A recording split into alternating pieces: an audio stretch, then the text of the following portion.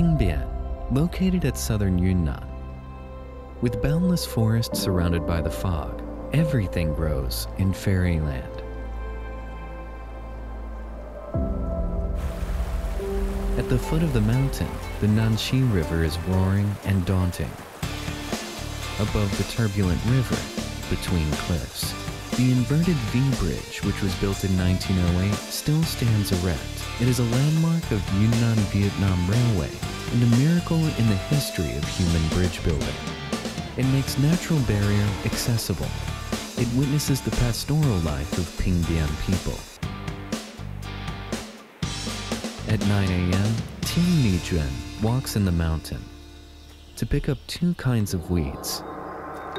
Zhuang people pass down the dietary wisdom saying, the herbs in the wild will be a treasure if you know how to use them. Purple blue herb and red blue herb now in Tian Li Juan's hand.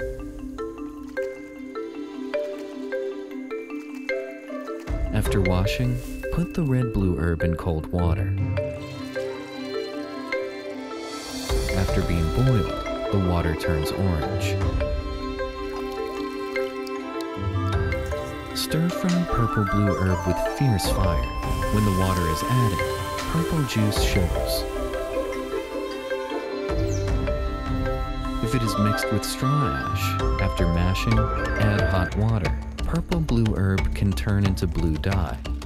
The juice is churning, and the bubbles are as dense as beer. In this one, the air-dried Buddleja officinalis extracts yellow.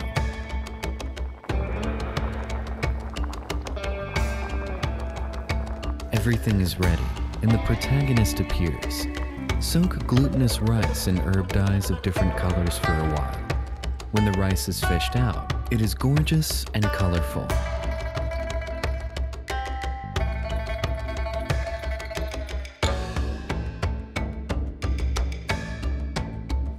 Soak the yellow glutinous rice in blue juice. It turns green miraculously.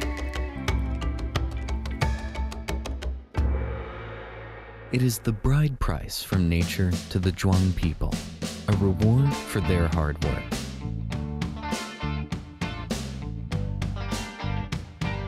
After the colorful glutinous rice is steamed, it is like an overturned palette, and the colors are pleasing.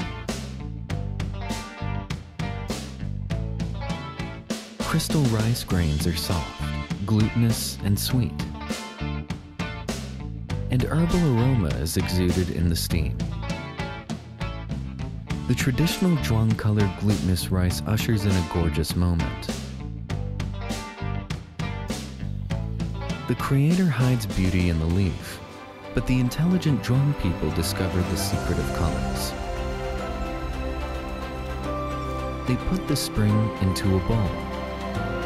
The yellow, green, orange, blue, and purple rice is the Oriental romance comparable to France. It is the experience and wisdom passed down by Zhuang people generation after generation. It is also a totem of their own aesthetics and happiness.